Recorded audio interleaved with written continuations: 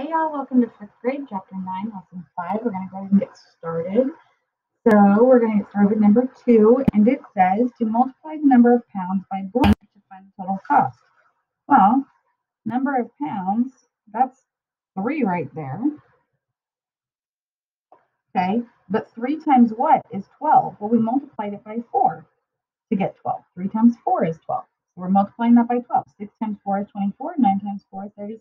So yes, so 18 times 4. Well, I don't know that off the top of my head, so I'm going to go 18 times 4 right here. Okay, so 4 times 8, 32. Carry that 3. 4 times 1 is 4, plus 3 is 7, so 72. Done. Okay, so we're going to do the same thing here. We're going to follow the pattern, okay? So 2 times what is 30? Well, I don't know that off the top of my head, so I'm going to go right here and I'm going to go 130, and I'm going to divide that by 2. Okay, so 2 goes not into 1, but 2 will go into 13 six times. 6 times 2 is 12. Get 1 left over. Okay, I'm going to bring down my 0, and 2 goes into 10. 5 times 5 times 2 is 10. Get 0. So 65. Okay, so we are multiplying the number of hours by 65 to find the number of miles Okay, so 2 times 65 is 130. 4 times 65 would be 260. Okay, there's a pattern there.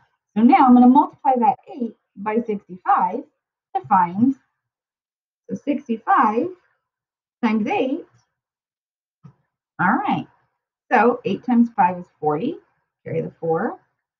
8 times 6 is 48 plus 4, 52.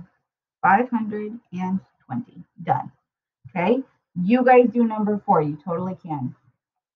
Okay, now on number five, it says a map key shows that every five inches on the map represents 200 miles.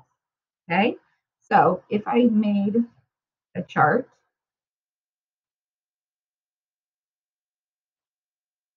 okay, so we would count by fives.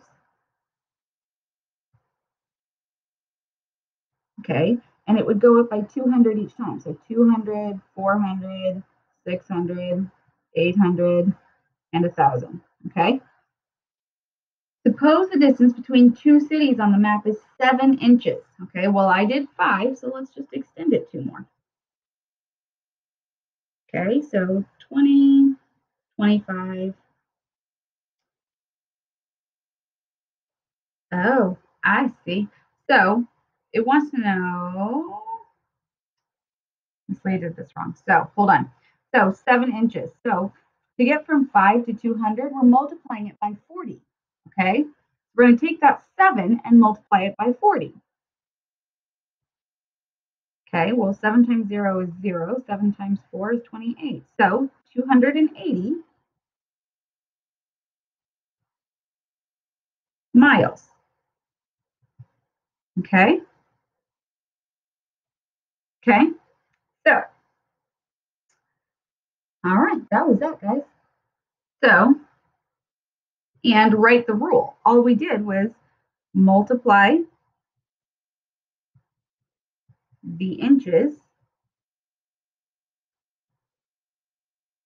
by 40. Done. Okay? All right. Number six. To make a costume, Rachel uses six yards of material and three yards of trim. Suppose she uses 48 yards of material. Okay, so to get from six to three, okay, we divided by two, right? Okay, so we're going to divide 48 by two. Well, 48 divided by two is 24 yards of trim. Okay, and our rule was was to divide yard of material by 2. Done. Okay? All right, so we're going to go into the back. Don't forget to do number 4, y'all. Okay. So we're going to go into the back where you guys are going to do the lesson check, and we're going to go down and do this file review. Okay? This says, what is the value of the following expression? So right here, I can see that I'm going to need my PEMDAS. Okay? I do have parentheses, so I'm going to rewrite everything else. Okay? And I'm going to solve for the parentheses. Okay? So 3 plus 2, 5. Okay? So now parentheses are done. I don't have any exponents. I do have multiplication. So I'm going to rewrite my 40 minus, and then 5 times 6 is 30. Okay? So now, whoop, I'm done with my multiplication. I don't have any division. I don't have any subtraction or addition. So now I just have my subtraction. So 40 minus 30 is 10. Okay. What is the value of the digit 9 in the number 400 or sorry, 597, 800, 184? You can't read today. All right. So we love these because all you have to do is drop down that 9 and every number afterwards for one, two, three, four numbers becomes a 0. 9,000. Oh, sorry. There were 5 numbers afterwards. Ninety thousand. One, two, three for. Okay.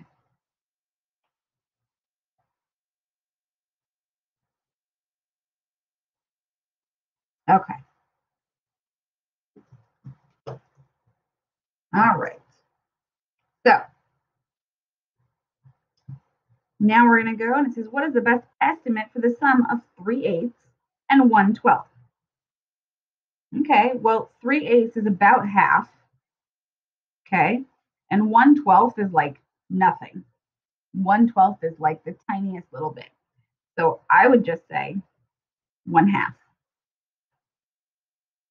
Okay. Terry uses three cups of pumpkin seeds to decorate 12 loaves of bread. Puts an equal amount of seeds on each loaf. How many cups of pumpkin seeds does he put on each loaf? So three cups divided by 12. Remember that a fraction is just division, okay? So 3 divided by 12, I'm just going to reduce that, okay? And go 3 goes into 3 once, 3 goes into 12 four times. It's going to be a quarter cup. That's it, guys. You don't actually have to do the division, okay? Just got to reduce it, all right?